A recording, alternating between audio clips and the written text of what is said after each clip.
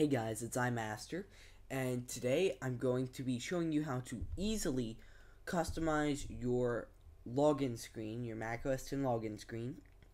I am on Snow Leopard, as you can see, but I'm almost 90, 100, almost 100% sure that this also works on Leopard. Um, so basically, the program is called Ravissant. There we go.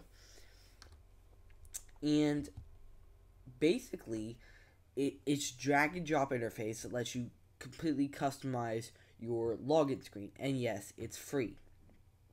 Now, first of all, let me go ahead and play you this video that I took on my phone earlier just to prove to you that um, I am actually changing it and it's not some like default thing. Alright, so I'll go ahead and play that for you now. Okay, so as you can see, my the screen is completely default. Just has um, Apple logo, then my iMac, William's iMac, then William, um, then the password and the field, and just the default Snow Leopard um, background.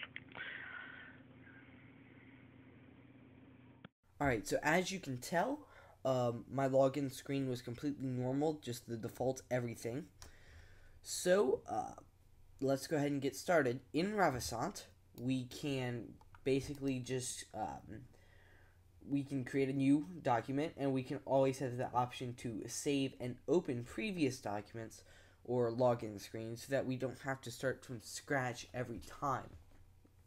Uh, the normal edit menu, you can once you finish customizing, you can apply, and you can always restore to the default, which is good. Uh, more info gives you info about the selected uh, item over here. And sync with desktop, so far, I have not figured out what it does. I would like search the Ravissant help, but there is no help. Um, but I'm sure it's nothing too important. And then you can go into a full screen mode.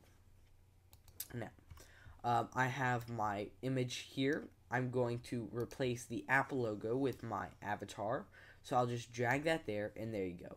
And as you can see, my avatar on my desktop is 885 by 885. Even so, Ravissant resizes it for me, which is a really cool, nice little feature. Then moving on to OS text, we can change this to, um, I don't know, uh, let's call it something other than my iMac. Maybe hello. Okay. Welcome text. Going to put welcome back. How are you today?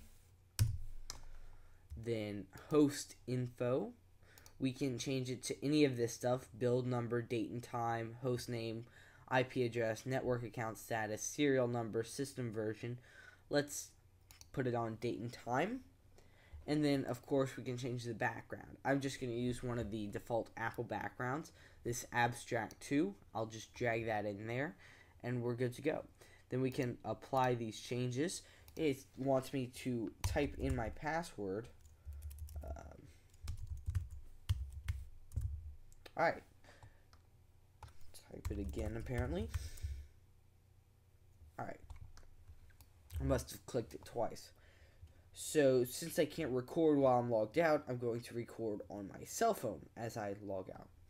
So I'll go ahead and log out right now. I'll quit Ravissant.